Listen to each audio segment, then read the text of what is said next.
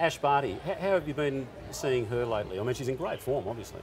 Well, I like her in a lot of ways. She plays with a lot of energy. Uh, to me, uh, she's someone that I can relate to because I believe she's become a better player because she played doubles. Yeah. And she's probably the best volleyer on the women's game right now on the tour. So uh, that pumps me up, and she's very aggressive. I mean, the downside for her, she's not as big as a lot of the other players, so she could potentially be blown off the court if one of these big hitters has a big day. But she competes really well, like Alex de I mean, they're two of the best competitors around.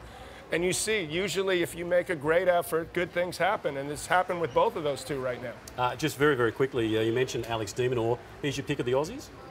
Well, he, he, he's, to me, out of all the young guys, and, you know, I'm talking about the, like a Zverev, a four in the world, Coric, Tsitsipas, all those guys who I believe many of them are going to win Grand Slams.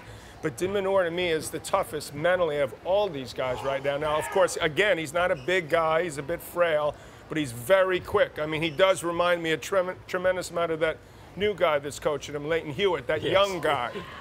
Mate, we uh, really look forward to your company over the next couple of weeks, and uh, you'll be sitting alongside that new guy in Lleyton Hewitt, so we look forward to it. I'm looking forward to it, Tony. And now you, what you've been doing this 30 years, and now you've hit the big time, right? So you're yeah. what a what an overnight sensation in mm. uh, 30 years or something, or what is it? You can't be serious.